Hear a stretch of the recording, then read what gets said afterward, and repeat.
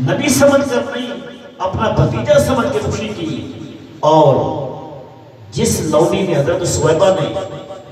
अबू लहब को खबर दी थी कि तुझे अल्लाह ने एक बड़ा खूबसूरत भतीजा दिया है तो उसने अपनी शहादत वाली उंगली, यानी इस उंगली का नाम है शहादत वाली, वरना उसने तो शहादत नहीं ना पेश की। अगर वो शहादत दे देता, शहादत दे देता अल्लाह की वहदानियत की, नबी पाक सलाम की रिसालत की तो मुसलमान हो जाता लेकिन उसने क्या किया? अपनी इस उंगली से, शहादत वाली उंगली जो होती है, इससे उसने इशारा किया कि तूने ऐसा मुझे मुझे बड़ी अच्छी खबर दी है, जा आज के बाद तू आज़ाद है।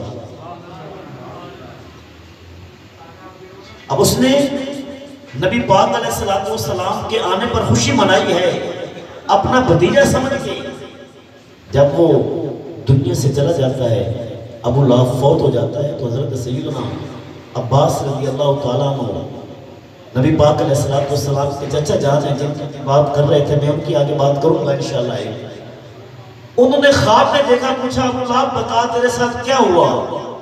उसने कहा, जी, बड़ी तकलीफ़ में रहता हूँ, पूरा हफ़्ता।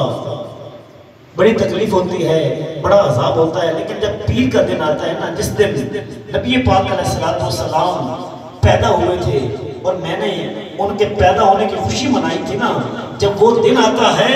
तो जिस उंगली से मैंने हज़रत सुहैबा को आज़ाद किया था, उस उंगली से ऐसा ठंडा और मीठा पानी निकलता है, जब मैं पी लेता हूँ, सारे हफ़्ते का आजाब खत्म हो जाता है। तो मैं बात जो अर्ज़ करना चाहता हूँ ये है कि अगर हमारे आका सलाम के आने की खुशी कोई काफिर मनाए, अल्लाह उसको अजर से मालूम नहीं रखता